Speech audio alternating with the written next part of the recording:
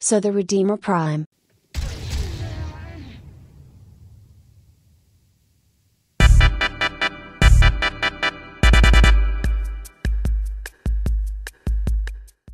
Yeah, it's okay. 100% status and not half bad damage. I don't really talk about new prime weapons, but this one definitely needed loads of attention. What's up my little nuzzle buddies? Today we're talking about the Redeemer Prime, the new shotgun blade that released with Mesa Prime Access. As I mentioned before this little man gets 100% status, and a nice little crit base as well. However we don't care about that. I won't really go in depth on my weapon build seeing how it's literally 4 dual stat mods, speed and damage, with the additive of Bullet Dance. Possibly one of the most overpowered things in this game. For Corpus I went with the obvious gas and magnetic build, and let me tell you, it absolutely shreds anything you put in front of it. If you build for gas against Grineer, make sure you have some armor stripping frames and you will deal crazy area of effect damage. The obvious choice of corrosive for Grineer as well. Obvious. It won't exactly strip armor,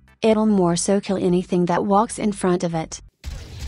I'll more so focus on the gas part of this gun, seeing as how it's the most overpowered setup here. Another thing that makes this gun absolutely insane, is the fact that it has ridiculous stealth multipliers, being a melee weapon and whatnot. I've basically stopped using all of my primary weapons and picked up this bad boy as my new primary. Peace out my little perverted potatoes.